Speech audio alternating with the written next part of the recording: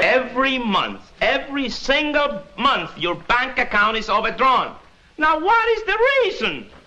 You don't give me enough money? I don't give you enough money. Well, we both agree that must be the reason.